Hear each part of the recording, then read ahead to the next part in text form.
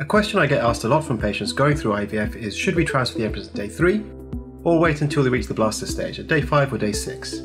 This is a key decision in IVF cycles, so let's break it down. First up, we got the day 3 transfers. At this point, the embryo is at the cleavage stage with around 6 to 8 cells. It's still early in development, but here's why sometimes we opt for this stage. Number 1. More embryos to choose from. On day 3, more embryos typically survive compared to day 5 or day 6.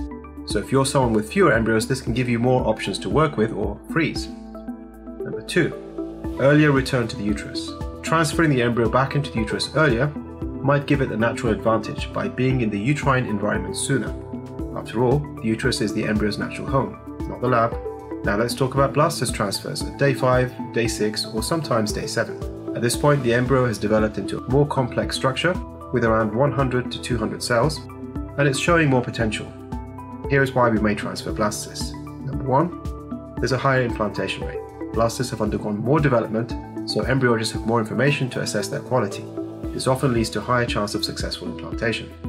Number 2. Fewer embryos needed. Because blastocysts are more likely to implant, fewer embryos are needed for transfer. This reduces the risks of multiple pregnancies and the complications that can come with that. And then number 3.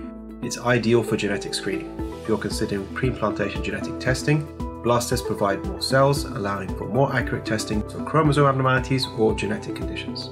So what's the right choice?